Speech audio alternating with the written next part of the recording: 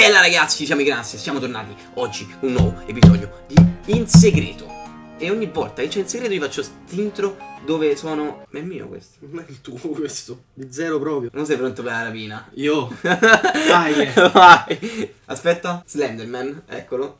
È lui. Vai, leggi il primo. Donna di 20 anni. No.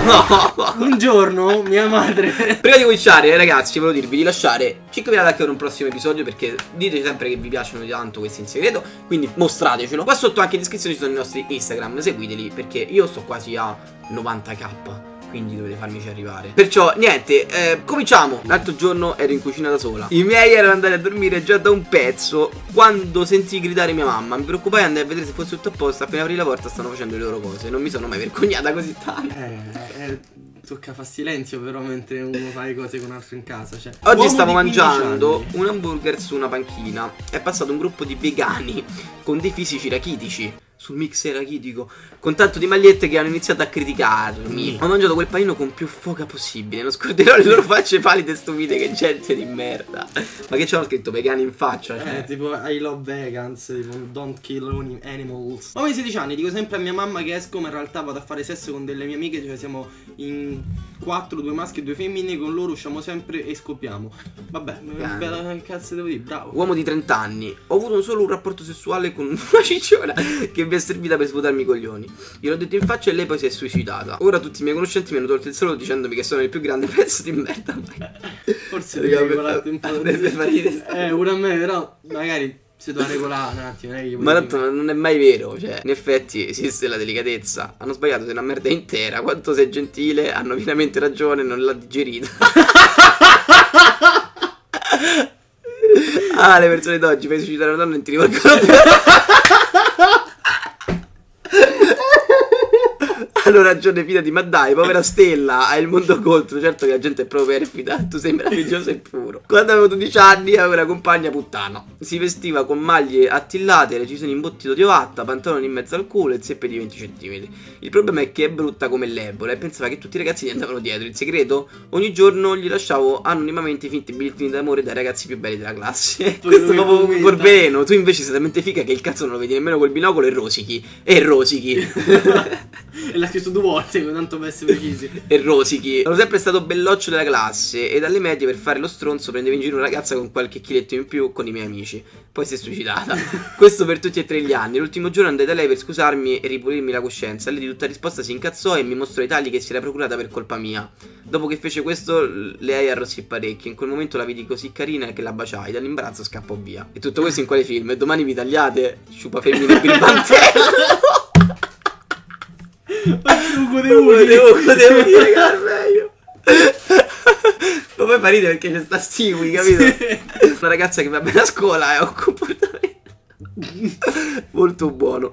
Ma il mio problema è che molte volte mi piace comportarmi un po' da troia per attirare i ragazzi, ma dopo averlo fatto mi sento in colpa. Hai detto implicitamente per attirare i cazzi, lo sai? Invece che i ragazzi. Io leggo con anche le troie.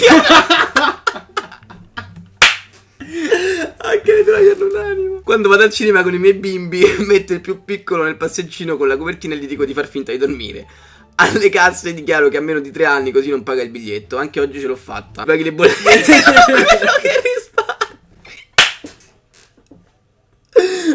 Ragazzo, anche lacrime. Premessa: il mio ragazzo siamo fan di Big Bang Theory. È da tre mesi che il mio ragazzo mi chiede di fare sesso con lui. Un giorno ero stufa e gli risposi che l'avrei fatto con lui quando l'avrebbero fatto Sheldon e Amy. Mi sono fregata da sola. E io non l'avevo ancora visto quel pezzo. Mi piace tirare i capelli alla mia ragazza mentre facciamo sesso e siamo super eccitati. Un giorno però ho tirato così forte che mi è rimasta una, ci- una cicciona. Ormai do- do col- che mi è rimasta una ciocca intera in mano. La mia ormai ex ragazza ha pianto tutto il giorno e poi mi ha lasciato dandomi della testa di cazzo. Ok, questo era divertente. Vabbè. Ricazzo da circa un anno una mia ex con dei video di noi mentre scopavamo minacciandola di mandarli al padre. Non me ne pente, sapete perché? Ha rubato 250 euro che mia madre teneva in un cassetto per ogni evenienza. È talmente stupida che me ne ha restituiti 140 circa e continua. Così impari, cagna. Severo ma giusto. Fai bene. Mio padre mi ha chiesto di mettere il sal in friulano concime nelle piante. Io ero distratto e non ho capito molto, eh, così ho deciso di mettere il sale grosso nella siepe e tutte le rose e i gelsomini di mia madre pensando che servisse per togliere le erbacce. Il cortile era il deserto del Gobi. Ho vestito una vecchia mentre facevo retromarcia con il mio sub. Presa dalla paura sono scappata subito. Arrivata a casa decido di dire tutti a mia madre dopo averci pensato per un po'. Ma mi ferma subito dicendomi che la nonna aveva avuto un incidente. Non l'ho proprio vista per quanto è passa.